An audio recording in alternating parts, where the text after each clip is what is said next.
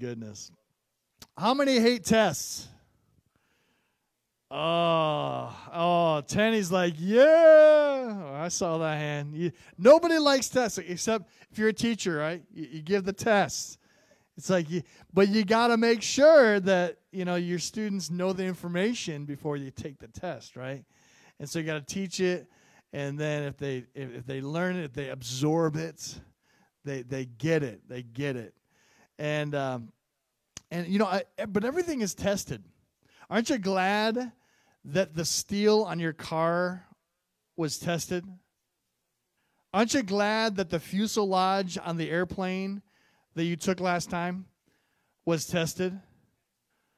Aren't you glad that the uh, you know that the load of that semi truck in front of you that was really weighed down with that big bulldozer was tested. Oh man. I tell you, aren't you glad that this building was was tested and inspected and it passed tests? Oh, thank you, Jesus. You know, just think if we if we had no tests, you know, we just oh, looks good, all right, you know, for, you know, medical tests, right? If you don't have the medical tests, how would you know what procedures to get, right? They could just figure it out. They could just maybe cut you open and be like, oh, you know what? Uh, that would be my my uh, way of doing things, you know. Which wouldn't be good. I'm like, ah, oh, it's not good. Oh, that looks booky. That looks all right, you know. The blood's red, you know. Hey, yeah. But you got to have the test. You got to have the test to know what's going on. You have to take the test. And as we continue to talk about, you know, just legacy faith, we're going to be in Hebrews chapter 11 and we recognize that that we will have to go through some tests to prove our faith and uh, and to strengthen our faith. To prove our faith and to strengthen our faith, there has to be a test, right? There, ha- if life was just without tests, without any issues, without any struggles, oh, did you guys get the uh, the the? Anybody need any uh, handouts? Handouts? You guys good? We got handouts. Um, uh, so, um, but if we go through life and in in our in our spiritual walk, we without tests, we're we're not we're going to be pretty uh, pretty lackadaisical in our faith, right? If we don't really believe who God is, that God is who He says He is, how will we know that God is who He says He is unless we've go we've gone through the test? And so often we want to serve God on our own terms, right? We want to serve God on our own terms. We want to we, we want to, to set the agenda and we expect God to bless our agenda. You want God to we expect God to bless our plans, our terms, our way, our comfort has to be the most important. But that's not the way God works.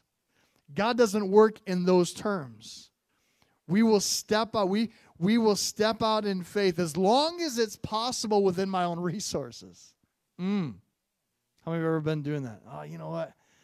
God, it's got to be within my own resources, within my own agenda, within my own plans, within my own comfort. We'll step out as long as it's within my own limitations, as long as it doesn't require any real pain or any real sacrifice. I'll step out. But that's not the way faith works. You look at Hebrews chapter 11, there's never an instance in any of the examples where there's not going to be any sort of pain or sacrifice involved. There is trusting that God is able to meet something that is beyond their own ability. And Abraham is no exception. Commendable Hebrews 11 faith is giving up our very best for God's very best. Giving up our very best for God's very best, believing God's perfect promise, trusting Him throughout all through it all, knowing that He is more than enough. God will always stretch us, He will always test our faith, and He will always show us that He alone is faithful. And the test will always prove that. The test will always prove that God can be trusted the test will always prove that God has a plan and his plan is the best. The test will always encourage and confirm our faith because our faith is in God. Our faith isn't in ourselves. Our faith isn't in somebody else. Our faith isn't in our employer. Our faith is in God's word. Amen? That's a stretch, right? That's tough. That's tough. But the test will always reveal the truth about our faith. The test will always reveal the truth about our faith. The test will reveal whether our faith is all talk or real action. The test will reveal how we see God and show us that God is all that His Word declares that He is and more. That's what the test will determine. It will determine that in our life. And in Hebrews 11, we're talking about Abraham again this week. But in Hebrews chapter 11, we see that God promised Abraham. But in order to receive what God promised, he had to leave.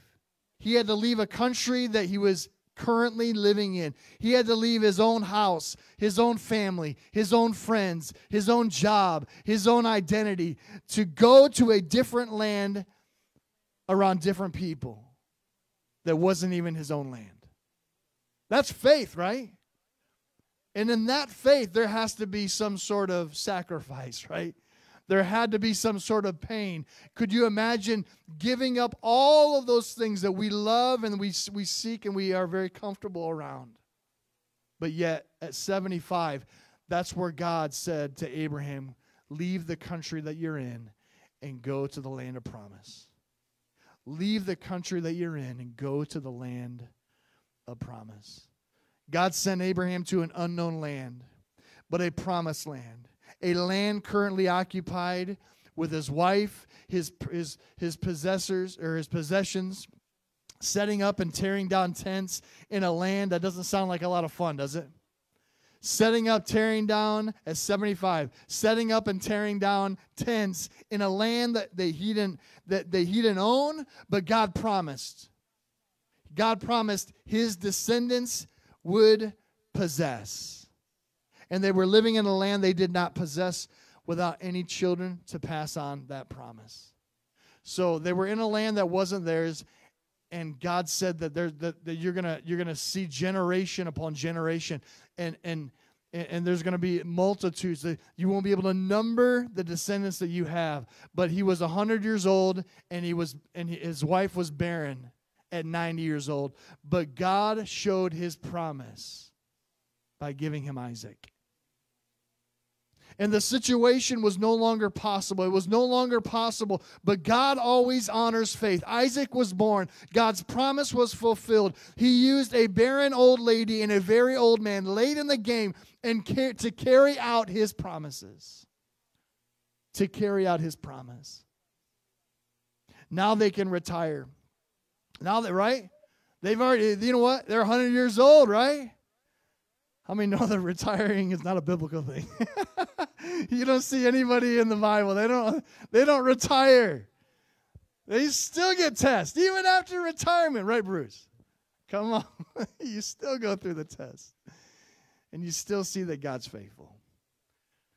But even at 100 years old, Isaac was born. Isaac was a teenage boy, 12, 13 years old.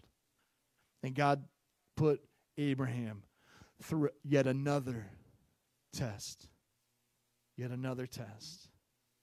But God showed Abraham one more test. So, if you got your Bibles, we're going to be in Hebrews chapter 11, verses 17 through 22. Hebrews chapter 11, verses 17 through 20, 22. Who got, who, who's got their Bibles? You got two of them? Oh. Where they at? Where they at, Larry? Oh, there. hey, there we go. So you got you better trust the one that's on the screen, because Hebrews chapter eleven, starting at verse what verse? Seventeen. There we go. I was seeing if you guys are paying attention. Seventeen through twenty-two. It says this. It says, "By faith, Abraham, when he was tested, offered up Isaac, and he who had received the promise." Was in the act of offering up his only son, of whom it was said, Through Isaac your offspring be named. He considered that God was able even to raise him from the dead, from which, figuratively speaking, he did receive him back. By faith, Isaac invoked future blessings on Jacob and Esau. By faith, Jacob was dying, blessed each of his sons, uh, each of the sons of Joseph, bowing and worshiping over the head of the staff. By faith, Joseph, at the end of his life, made mention of the exodus of the Israelites and gave directions concerning his bones. That's legacy faith, church. That's legacy faith. Pray. Father, I thank you that you are faithful. God, that you are faithful from one generation to the next, from one test to the next. God, I thank you, Lord, that you are always good. God, that you are always faithful. Lord, help us, God, to trust you. God, help us, Lord, to look to you right now, God, because we have great things in store. You have great things in store for us, but we have to trust you for it. Bless each and every one of us. Help us to walk and be encouraged and walk out that faith that you've called us to. In Jesus' name. Amen, amen, amen. So, do you have any but God, I hate tests excuses? Right? Do you have any excuses? You know, I would serve you. God, I would serve you. I would serve you, but but God, I would but but God, I, I need I need you to do this for me first. But God, I, I, I will trust you, but I but I have trust issues. God, I would serve you, I would obey you, but I first need to know the why, the where, and the how. God, if I knew all those things, God, I would trust you. Sometimes that's why God doesn't reveal the why and the no and the how. You know, you know, just think of Abraham knew all of that. He'd say, you know what, forget it. It's just one bite at a time. You eat the elephant, what? One bite at a time. That's how we walk our faith, one bite at a time. We don't know the why and the where and the how, but God. But God does. But God does. I've, I, you know, I maybe, maybe you say, you know, I've been burned in the past. I've been disappointed. I've been hurt. I have issues trusting people. I would, I would, but God. God says, I know your issues. I know your resistance. God knows your past. And I know you want to be in control thank you for being honest. I can work with honesty. I can work with those honest issues and, and the struggles that you have. And God says, Let me walk with you through this. God says, Let me show you who I am and just get to know me. Just get to know me as I as you step out, as you walk with me, spend time with me, talk with me, hear from me, listen to me, trust me. As you do that every day, one step at a time, I'm gonna, you know, I, I, I'm gonna give, I'm gonna give, you, you know, Lord, I don't know what's gonna happen, but God, I know, I know what your word says. I know what your word says. I'm gonna leave I'm not going to leave you high and dry. God says, I'm not going to leave you high and dry. I will walk with you through it all, but you're going to have to trust me. Abraham, he said that, you know, he heard that from God. You know, you may not understand the how, but I tell you what, God still has a promise in store. But there's going to give you a test. God says, but I'm still going to give you a test you're going to be tested. So the question is are we ready for the test? Are we ready for the test? You know, Abraham, he left his native country, he became the father of Isaac at 100 years old. He sacrificed a lot for God, and God was faithful. He received God's promise, son, and so Abraham could just enjoy the latter years of his life, but God had one more test the test could, you know would would you know would Abraham be willing to give up his give up God's promise? Would Abraham be willing to give up God's promised, his prized possession, his son through impossible circumstances? Impossible sir. Everything that happened was impossible. It was an impossible circumstance that god already carried out all of this that the that the child of the promise was born by supernatural means. That's all. Miles. Just kidding. But his prized possession his son he was born, and, and that's exactly how God put the test to Abraham. You know, doing well on a test, it requires us to know the material. If we're going to do well on the test, we have to know the material. Listen, Abraham knew the material. Abraham knew the material. He knew exactly what the test was going to be. Abraham knew the material, he knew God's faithfulness, he knew God's power. If we're going to do well on the test, we've got to know the material. Verses 17 and 18, Hebrews 11, it says, By faith, Abraham, when he was tested, offered Isaac up, and he who had received the promise was in the act of offering his only son to whom it was said, Through Isaac shall your offspring be named. God spoke that to Abraham. It was going to be through Isaac, not through Ishmael. Ishmael was, you know, that was that was that was that was Abraham and Sarah's plan right there. That that was that was definitely possible. But God made a way. The promise was through something that was impossible, through a woman who was barren at 90 years old. And God said that through Isaac shall your offspring be named. Listen, Abraham walked with God. He listened to God. He trusted him and was true to his word. So when God gave this major test that would have destroyed everything that God promised, everything that God, how God was going to fulfill this promise. Listen, Abraham was ready because he knew God. Abraham was ready because he knew the material to pass the test. It's not our promise, listen. And, and, and Abraham was, was willing to let it go. He said, It's not my promise, it's God's promise. It's not my promise, it's God's promise. And I'm going to have to let it go and, and trust that God has a promise in store for me. And if God wants to change how he fulfills his promise, we must trust him. Remember, it's not ours. It's not ours, it's his. Does that give us some freedom? That God's word is all and more that he says that he is. We just need to say, you know what? God makes the promises his way according to his timetable, not ours. Not ours. God commanded Abraham to give up his son, the son of his promise. Even though God did not let Abraham take Isaac's life, Abraham did not know God's response until the very end of the story, but he knew God. He simply trusted that God will be faithful to his word and to his promise.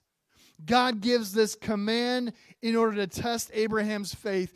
In, in, instead of taking Abraham's son, God gave Abraham a whole nation of descendants through Isaac. But we have to be willing to give up the promise because it's not ours to begin with. We have to be willing to give up the promise. God knew that God had the, Abraham knew that God had the power to do the impossible, even resurrecting his son from the dead. God was able to do it. Verse 19 it says, He considered that God was able even to raise him from the dead, from which, figuratively speaking, he did not receive him back. Abraham was willing to give up everything God promised because he knew God and he knew that he knew that God had the power to resurrect his promise into something even better. God had the power to resurrect his promise even into something that is better. And it's like, how can it be even better than this? we trust that God has something even better. We have to be willing to say, you know what? It's not mine to begin with. It is God's. It is God's. Abraham heard from God and he knew God and he trusted his promise. You know, if we're afraid to trust God, you know, with your most prized possessions, your greatest dreams, or, or your most dearly loved people, lean on what Abraham and Hebrews, Abraham's Hebrews 11 faith. It's not our deal. It's God's deal. It's not our deal, it's God's deal. He, he just chose to use us to fulfill his work, to fulfill his plan, to carry out this legacy faith. God chose to use us.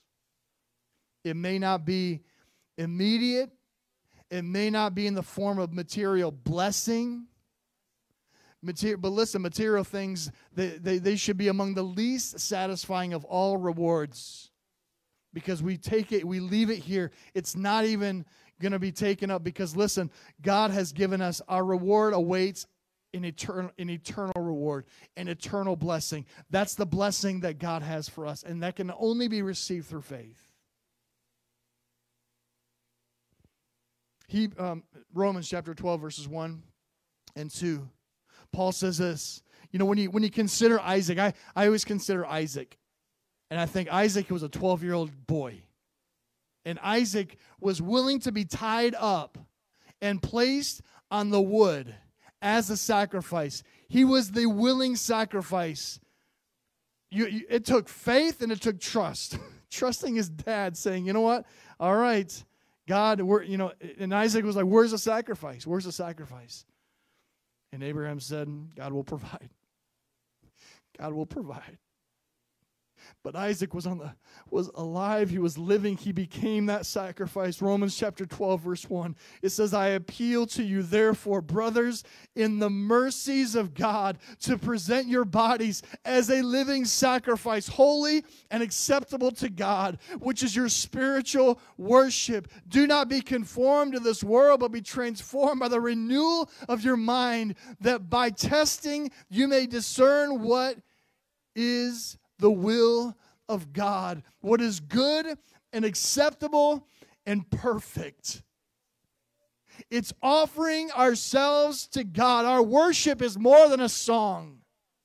Singing is easy, sacrifice is hard. When we offer ourselves to God as a living sacrifice, holy and pleasing to God, that's where we're going to be tested because we're going to have pressure. There's going to be pressure in this world that, that tries to pull us away, that tries to distract us. We live in a constant state of worship as we daily offer ourselves to God as a living sacrifice, holy and acceptable to God, not conforming to the pattern of this world, not wanting more of what this world promises material stuff, success, leisure. But when we offer ourselves to God, when we're here at church, when we say, God, use me in ministry, God, use me to reach my neighbor, God, use me to reach my community, God, I offer myself to you as a living sacrifice, holy and pleasing to you. When we offer ourselves to God, as that living sacrifice,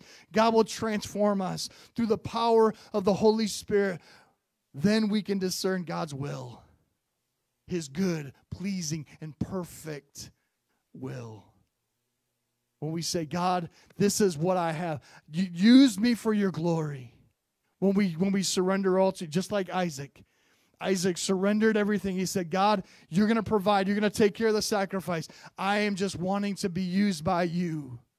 Abraham knew that. Isaac learned that from his dad. Are you ready to pass the test? Are you ready for the test? Because listen, are we are we are we blessing others in the faith? That's the second thing. Are we blessing others in the faith? Because we can look at Isaac. Isaac in the same light as Abraham. As we walk with Jesus, our faith is built up we continue to study and prepare and then pass those faith tests, God will bless us. God will bless us. And as a result, God will bless others. Verses 20 and 21 of Hebrews 11, it says, By faith, Isaac invoked future blessing on, on Jacob and Esau. By faith, Jacob was, was dying blessed each of his sons, the sons of Joseph, bowing to worship over the head of his staff. Here we see blessing. The blessing confirmed by aged fathers on their sons. You know, before before the father died, this is this is biblical tradition. This is we look at the patriarchs. This is what they did. They blessed their sons. He, they performed a ceremony of blessing in which he officially handle, handed over the birthright to the future heir.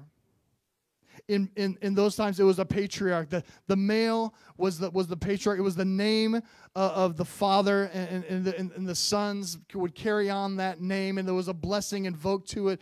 There was a birthright, and then there was a blessing. And before the blessing was given, the father would take the birthright away from the oldest son and give it to the more deserving son. So when you look at when you look at Jacob and Esau, Esau was the oldest, but Jacob was the one who God blessed. And God used Jacob to become Israel. That blessing was carried down from generation to generation. But, the, but after the blessing was given, the, the birthright could no longer be taken away. This is why fathers usually waited late in life to pronounce the blessing. Blessings are important. Blessings are important then, blessings are important now. And they were looking forward to the future as they conferred blessing on their children. They trusted in God's future promises and were able to trust their children to their future. They were, they were able to trust the children say, God, these are, these are your kids. You know, we dedicate our kids to the Lord, right? When they're little, when they're little, when they're little. So we dedicate them to the Lord and say, God, they're not mine, they're yours. These are your children. And as, as we pass away, as we pass on, we're going to pass on that blessing from generation to generation. But they trusted, they trusted God for the future of their children. Faith in the promise, in the promises of God allowed Jake, Isaac to bless his sons concerning things to come. The promises that were to come. They blessed their blessed, they, they blessed their children. You know, we may not know the future, but we know that God does what God does, and he, we trust the next generation will be blessed because of God's presence, because of God's blessing. Our blessings are powerful, church. How we bless other people is powerful. James chapter 3, verses 9 and 10, it says, With with, with it we bless, talking about our mouth, our tongues. It says, with it we bless our Lord and Father, and with it we curse people who are made in the likeness of God. From the same mouth come blessing and cursing. My brothers, these things ought not to be. The same mouth, how many can relate to that? Sometimes you open your mouth and it's like, you speak it. It's like toothpaste coming out of the tube, you know, and you can't put it back in. Our words have that same power. Our words have power behind them. We can worship God and we can curse others with the same mouth. James says this should not be. That's why it's important that we are full of faith. Because listen, out of the abundance of the heart, the mouth will speak whatever our heart is filled with, if we are filled with the things of God, if we are filled with God's word, if we are filled with the Holy Spirit, that's what's going to come out of our mouth. We walk with Jesus, we are empowered by the Holy Spirit, living according to his word, and we know and we believe and we obey in faith. Faith is caught, not taught. Faith is caught more than it is taught. It is taught, but it's also caught. You get to see it lived out. I tell you, I could preach and preach and preach. If I'm not, if I am not living it at home, it's not gonna, it's not gonna translate to my kids. If we are living it in church, if we're worshiping God, but we're not living it at home, it's not gonna translate to our kids. It's a blessing that God wants to instill in the next generation because the next generation needs strong faith. The next generation needs strong faith. We are building generational faith. Are we building generational faith? Are we building generational faith? You know, it's, I learned today, well, not today, I've learned that you look at Gen Z, we're in Gen, like our teenagers now, Gen Z. Gen Z only like 4 to 7% of Gen Z believe that the Bible is the inspired word of God.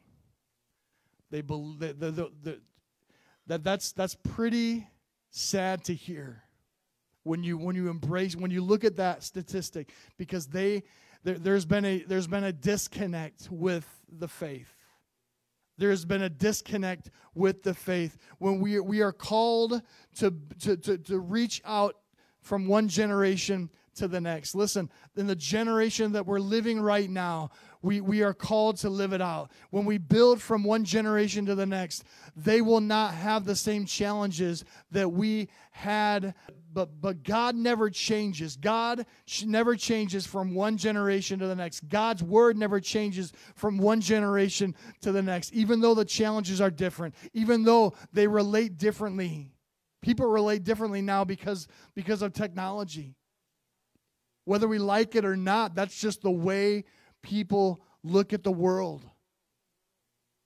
Instead of looking at how God sees it and how the world uh, how the word of God embraces it. Listen, that's what we need to accept. That's what we need to to know that we're up against.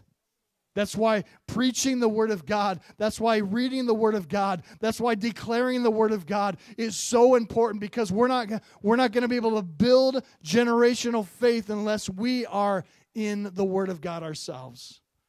It cannot be just a Sunday thing, it has to be a daily thing. That we get in that habit, that we get in the Word, that we pray for our kids, that we pray for for God to use us. Lord, help us, God. Empower us through your Holy Spirit. Because listen, after Joseph, Joseph's generation and their children, the children of Israel, they were they faced so many difficult challenges. You look at after Joseph, what's the next book after Genesis? Exodus, right? And, and, and, and it's, it's a 400 year gap that takes place after Joseph. 400 years, four generations of, of people. They were, they were enslaved to, to the Egyptians, but yet Joseph said in verse 22, he says, By faith, Joseph at the end of his life made mention of the exodus of the Israelites and gave direction concerning his bones. Why is that so important? Well, because Joseph saw that tough times were coming and bad things were going to happen. Four generations, the children of Abraham, Isaac, and Jacob, they were going to be enslaved to the Egyptians for 400 years. Bad things were going to take place. But after that, God was going to deliver them from the, from the, from the Egyptians. God was going to set them free and bring them to the land of that, that God promises. He said, Don't leave my body, don't leave my bones in Egypt. He could have, you know, he could have been buried with other pharaohs. He could have, you know, Joseph, he was a hero in Egypt. Joseph, he's he he, uh, he was um, you know, God God used Joseph to save the Egyptians from a severe famine in that region. Is because the dreams that God gave Joseph that God used him and so Joseph, he could have been he could have been enshrined in the in the in the history books of the Egyptians. But that's not what Joseph decided. Joseph said, Listen, I don't want to be known as somebody who changed the history of Egypt. I want to be known as fulfilling God's promise, speaking God's promise in faith. But Joseph, he believed God. He said, Don't leave my body in Egypt. He believed God. He trusted God. Joseph, he believed that, that God had better things for his story, that he wanted his children to remember God's promises. Genesis chapter 50, verses 24 through 26. It sums up the story before Joseph died at 110 years old. It says, it says, and Joseph said to his brothers, I'm about to die, but, but God will visit you and bring you up out of this land into the land where he swore to Abraham, to Isaac, and to Jacob. Then Joseph made the sons of Israel swear, saying, God will surely visit you, and you shall carry my bones from here. So Joseph died, being 110 years old. They embalmed him, and he was in the coffin, in a coffin in Egypt. He was there for 400 years. And we look and we see as they were, at, at 400 years later, they, they, they knew that. They, they said, All right, we're going to give our Father that wish, that, that, that, that, that last blessing, and saying, You know what? Take me from Egypt and bring me to the land of the promise. That was a faith journey. Don't, don't say, you know, you know, Joseph he didn't want to remain in, in, Egypt, but he wanted to go to the land of the promise. He wanted his body to be there. So, so you know, but you're thinking, well, what, does this have to do with anything? Joseph is not in the body. You know, yeah, you know, he's he's with the Lord. You know, but but he wanted the people to see to see that God is faithful. God is faithful. When you're in Egypt, God is faithful. When you're struggling with circumstances, God is still faithful. There is still promise that God still has for us. Don't say this for my own sake. Don't, don't you know, but, but, but for you, I, I, you know, I don't say this for my own sake. That's what Joseph thought. I don't say this for my own sake, but I say this for your sake. Let God's promise encourage you when things are tough, when life is at its worst, when everyone seems to be against you. God still has a promised land in store for you. The land that you are enslaved to is not your home. Stay faithful. Stay faithful. Church, stay faithful. Live out that legacy faith in your generation to pass down to the next. Even if you're the first one. Even if generation one begins with you, carry it through to the next generation. Listen, we have to live it out. We have to live it. God has a purpose and plan for each and every one of us. You know, Exodus chapter 3 verse 6 when when when when Moses was it was in the desert, the burning bush. This is what this is what how God introduced himself. He said, God said, I am the God of your father, the God of Abraham, the God of Isaac and the God of J- Jacob. And Moses hid his face and was afraid to look at God. He's the God of the living church, of Abraham, of Isaac, and of Jacob if he's faithful to Abraham, if he's faithful to Isaac, if he's faithful to Jacob, listen, he is still, after years of enslavement in the desert, in Egypt. Listen, I tell you what, it doesn't matter what your circumstances look like presently. God is still faithful. He is still good, and He still has a plan for your life. Carry that through to the next generation. Live out that faith. And even if you're tested, listen, you're going to be tested. are you ready for the test? Are you ready for the test? Are you blessing others in faith? And are you passing down your faith to the next generation, church? It's not going to be easy. But I'm telling you what, it's worth it. It's worth it. It's worth it. It's worth it. 400 years later, God still introduces himself as the God of Abraham, Isaac, and Jacob.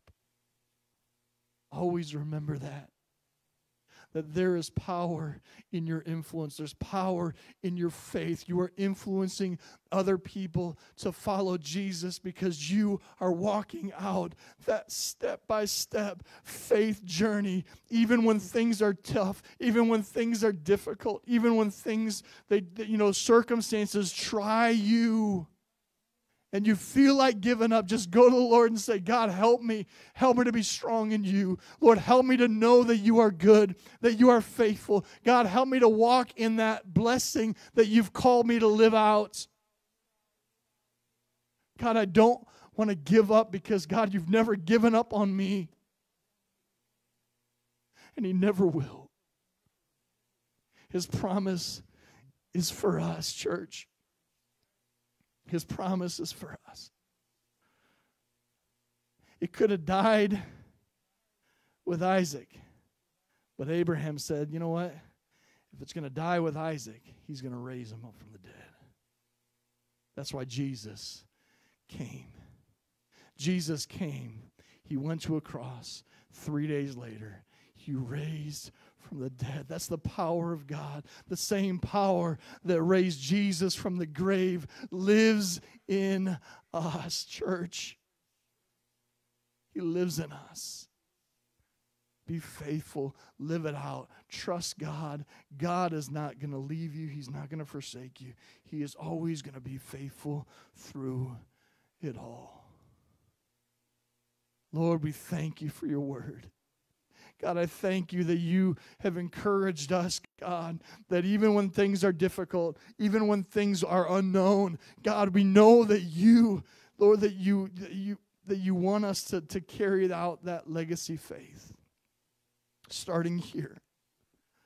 God, even if we're, we're generation number one, God, that we would live it out God, that our kids would see that, Lord, you are faithful. God, that we would continue to bring our kids before you and pray for them and pray with them and read the word of God with them and not be not be intimidated or not be afraid, you know, because I know culture and and and and, and there's so many other voices that are crying out for our attention. But God, your word is the same yesterday, today, and forever. God, you are always faithful through it all. Lord, help us to walk out that faith, to live out that faith journey, because we know that you are using us. God, that you are using us, Lord Jesus. Help us, Lord, to, to, to Lord, just to follow you, Jesus, to follow you. No matter where it takes us that we would say, God, less of me, more of you. Lord, have your way. Have your way in each and every one of us, Jesus. You know, with your heads bowed and your eyes closed, maybe today, you know, you you you know, you know what? You've heard you've heard about faith, but right now you don't have a whole lot of faith. Right now you're struggling with your faith you know maybe you're just going through some some tough times right now and and you think man I, I, just don't know if you know with all the things that are going on with all the circumstances that are going right right now i just i need encouragement. I need to get back on track. Maybe this morning that's you. You just need you just need prayer. You just need god to do a work in your life right now. You may be discouraged. You may be struggling. Just lift up your hand and say, you know what, Pastor, please, please pray for me. Please pray that I that I that I'm faithful in walking it out. Pray that I'm faithful in, in, in ministering to my kids, to, to showing Jesus to my kids, to showing Jesus to my neighbors, that they have such a clear, just a real representation of who Jesus is through how I talk or how I live. If that's you, just lift up your hands. Say, you know what, Pastor, I, I need I need the Holy Spirit to empower me. Amen. Amen. Thank you, Jesus. Yes, yes. Thank you, Lord. God, I just thank you. I thank you for your love. I thank you for your grace. God, I thank you, Lord, that you want us just to continue one step at a time, live for you, walk with you. God, you know our insecurities, you know our struggles. You know what we deal with every day, God. And I pray, Lord, that even through all of that, God, that we would see that you are faithful. God, that we would walk it out, empowered by your Holy Spirit to fulfill the work that you've called us to fulfill. God, I thank you, Jesus. I thank you, Lord, for the people that you've surrounded us with, God. Lord, our family, our neighbors, God, our community. Lord, I pray that you would help us, God, just to be a light into our community, to be a light into my family. God, help me, Lord Jesus, to live it out, God. And Lord, even when I when I blow it, when I mess up, when I maybe lash out in anger, I say things that that I shouldn't have said. Lord, help me to be humble. God, and recognize that, uh, and, and, just be honest and say, I'm just a, I'm a work in progress, but God's faithful. I'm a work in progress, but God is faithful. Lord, as we look at these patriarchs, we see we see that they messed up. They they didn't live a perfect life, but God, we know that even even with all that, Lord, you still gave them grace, that you still use them for your glory.